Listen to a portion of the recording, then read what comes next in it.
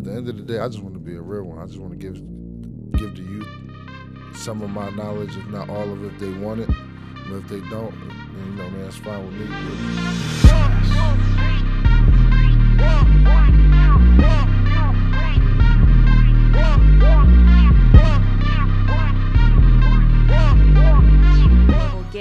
One region that's experiencing huge growth is Southeast Asia, where a certain player fresh out of high school has begun to make a name for themselves on the streets. The baller was going crazy from everywhere. Whole other level. He performed head and shoulders above all the rest. This one is the one. Out of this world. All eyes remain on the streetball courts of Southeast Asia, where a player being referred to as the one has begun to show fans how nice his game is. The one, he is out there doing his thing. The one was on fire last Ridiculous. night. Ridiculous. How is the one doing this? The player known as the one has been making waves in the streetball courts of Southeast Asia and is making quite a name for himself. Tomorrow, the one and his squad head to the tenement court in Taguig, Philippines, where he will take on some pretty tough competition. If the one lives up to the expectations, will likely return home with a vote of self-confidence and a bright future ahead.